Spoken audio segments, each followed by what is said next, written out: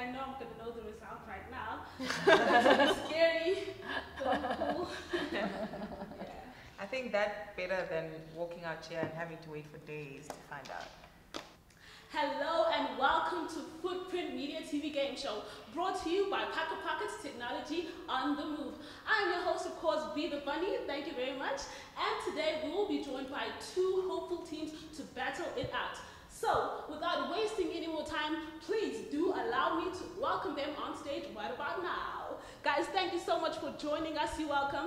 And you guys seem pretty excited today. But guys, check this out. Before we actually get on to knowing our guests and stuff like that, on to the million dollar questions. How much are you guys playing for? Hmm, let's see. Now, one million rand seems like a lot of money today, doesn't it? Well, yeah, you, does.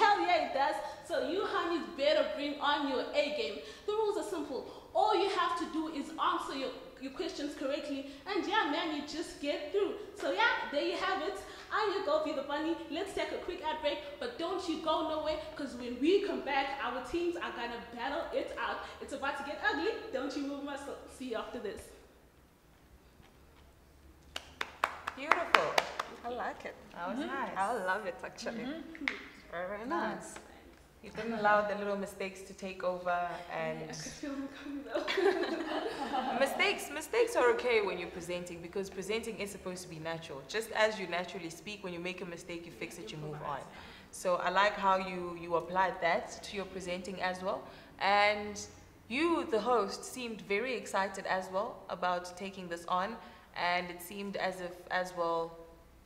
I don't know. It's like you you made it. How can I say? You anchored it. The ball was in your court for now, you know, and you drove the show as the anchor. So that's that was nicely done. For the first time, I have nothing to say.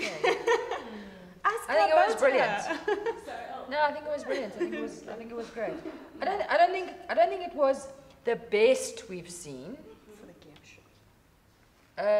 Um, so so don't get complacent. Um, I think that there's still a lot of work and still a lot of things you can learn. Um, but I think it was good.